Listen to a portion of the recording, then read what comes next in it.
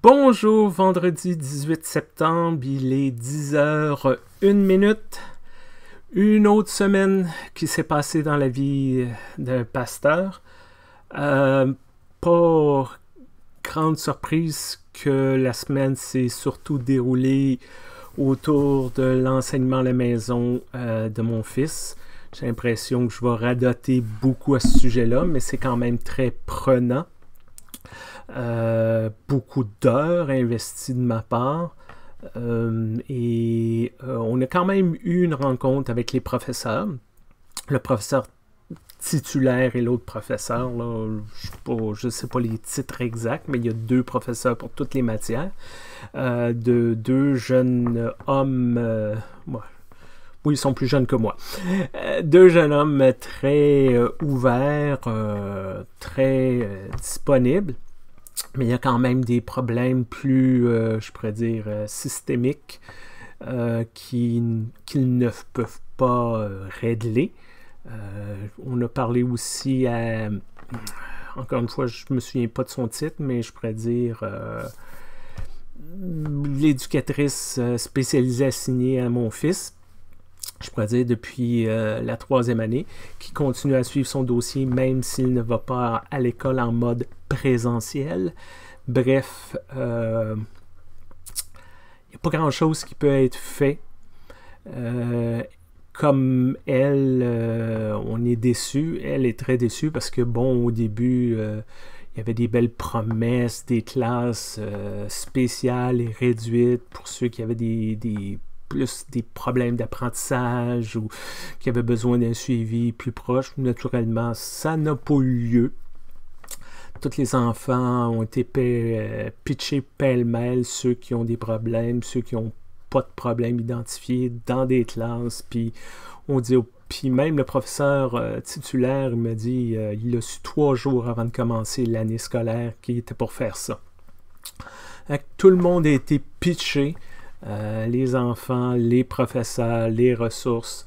Euh, l'enseignante spécialisée, ben, elle, en, en a là, plein. Euh, en a là, plein les bras, puis elle sait plus où donner de la tête, pauvre femme. Les professeurs, ben, ils font le possible. Il faut qu'ils développent une nouvelle technique d'enseignement. Il faut qu'ils créent les ressources au fur et à mesure. En tout cas, c'est le bordel. Naturellement, le but, c'est euh, pour nous, c'est que notre fils ne souffre pas de ça. C'est pas évident. Fait qu'on essaye de, développer des stratégies. Euh, naturellement, on dit au professeur euh, les notes, là, on ne sera pas trop obsédé par ça. Le but, c'est qu'il réussisse son année. Qu'il ait 70, 80, 90. personnellement, je m'en fous un peu. Tout ce que je veux, c'est qu'il survive sa cinquième année puis qu'il n'ait pas le goût de, lâcher l'école en cinquième année du primaire. Après ça, bof, on verra bien. C'est ça, ça bouffe beaucoup de temps. Et ce qui fait que euh, quand j'enseigne pas, les rares moments que j'enseigne pas, puis que je fais pas des, capsules vidéo, puis des choses comme ça pour nourrir euh, le Facebook et la page web et la chaîne YouTube La Paroisse Sainte-Claire, ben c'est un peu le sprint. Euh, je vais finir faire l'école à 3 heures de l'après-midi. Puis je sais que j'ai à peu près 2 heures pour travailler. Euh, puis à, 17 heures, il ben, faut que j'arrête, c'est l'heure du souper. Après souper, s'occuper un peu des, enfants couchés. Puis ensuite, ben, il est 9 heures, fait que je ne me remettrai pas à travailler. Là. Donc, euh, je peux pas. C'est l'impression d'être en sprint constamment. C'est l'impression que tu peux pas avoir une mauvaise journée ou une journée où ce que le cerveau fonctionne pas trop parce que euh, le temps est compté. Ça, crée beaucoup de frustration. Euh, j'ai des courriels qu'il faudrait que j'envoie depuis dimanche qui, on est vendredi, ils sont pas encore partis. je sais pas. C'est ça. J'ai pas le coup de me oui, j'ai le goût de me plaindre, mais je veux pas. On va être honnête, je suis un être humain, j'ai le goût de me plaindre. Mais je veux pas. Euh, c'est pas la pitié, c'est juste euh, comment que je me sens. Surtout ce matin où je me sens fatigué, euh, les jambes lourdes, et les cheveux tout croche. c'est un peu ça ce matin. Euh, je veux quand même souligner que ce soir, vendredi 18 au soir, c'est le début de Rosh Hashanah. C'est le début du nouvel an euh, juif. Alors, je doute qu'il y en ait qui écoutent ce message, mais quand même, bonne année à tous nos frères et sœurs euh, de confession juive. Et c'est important de souligner ça parce que eux vivent euh, dans notre société, puis ils se font bombarder par Noël, par Pâques, puis c'est pas leur fête, puis ils n'ont pas le choix de passer à travers de ça. Je pense que c'est le minimum de politesse et de courtoisie de souligner leurs fêtes religieuses importantes, que ce soit toutes les fêtes soient soulignées. Juste une question de, de respect, puis de, de bien vivre ensemble.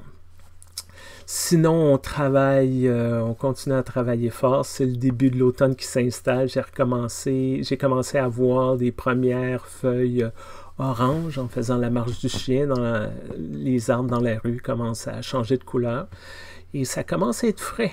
Euh, il y a des matins, euh, c'est frais en petit monsieur pour faire marcher le chien. Euh, un jour, j'ai oublié de mettre mon manteau, puis oui, j'ai retourné de bord parce que, en tout cas, ça réveille, ça pas besoin de. Ça coupe un café, ça te donne un, coup, mais c'est ça. Fait que l'automne s'en vient.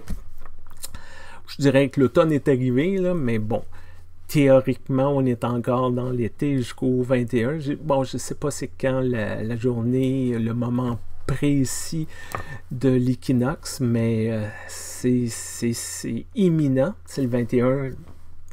Donc, euh, on, rentre dans une nouvelle saison.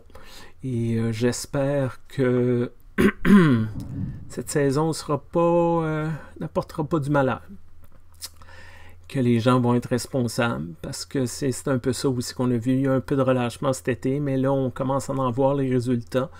Les cas de coronavirus euh, augmentent à Ottawa, à Québec, à Montréal. Et pourtant, comme, on dit, comme, comme les experts de la santé publique le disent, c'est pas si difficile. Se laver les mains, porter un masque, puis s'assurer de garder deux mètres pour, avec les personnes qui ne sont pas dans notre euh, bulle immédiate. C'est pas un si gros. C'est pas un si gros sacrifice que ça. Euh, c'est sûr, moi j'aimerais aller euh, prendre mon auto, descendre à Montréal, dire bonjour à ma famille, puis passer un après-midi de bon temps. Mais on fait un sacrifice, on s'appelle, on fait des vidéoconférences, on se texte, ça se fait. Puis le but, c'est que justement, le plus rapidement possible, on puisse savoir pas étirer ça pendant des années, là, ça n'aura pas d'allure. Fait que c'est un rappel. On fait attention. Alors, justement, faites attention à vous. Faites attention à vous. Portez-vous bien. Euh, puis euh, j'espère que si vous avez le goût, ben venez nous voir à l'église Sainte-Claire les dimanches soirs, 19h30. Toute l'information est sur notre site internet www.église en un mot.org. À bientôt. Bye bye.